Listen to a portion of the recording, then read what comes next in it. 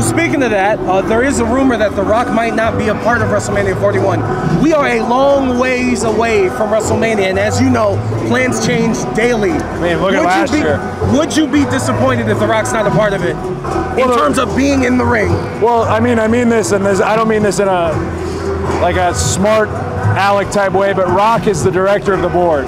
The man that is the final boss, Dwayne Johnson, is different from the final boss, and his outside the box thinking with Nick Khan and Triple H is part of WWE's record era, part of this WWE Netflix era. So, in whether he's in the ring or whether he's not, he very much is still very involved with what happens at 41.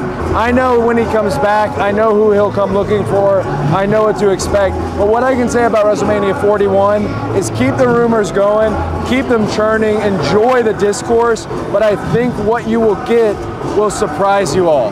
There it is. And by the way, you uh, asked Stone Cold, you extended an invitation to him to show up at WrestleMania. Yeah, punch that Legends card, dog. Well, I got to talk to him a month ago, and he said he's down. I Hope to be there this year. Well, Cody, Cody said he said you haven't I punched mean, your ticket if he enough. needs if he needs another hand, I mean, uh, I'll be there. Yeah. So the uh, the invitation's still there. He's also not far. I mean, we could helicopter him. Three hours away. Great right now. American Bash style. I mean, this.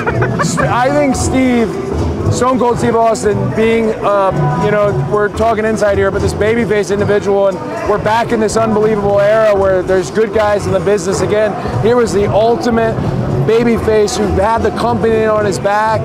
I just would like him to be around to see how we're doing. I, I, I want him to know, like, hey, we're doing this Friday, we're doing this Saturday, and I hope he's proud of all of us because he really has set the table for us, him and The Rock, in a way that we can eat so fruitfully. So I'd love Steve to do anything.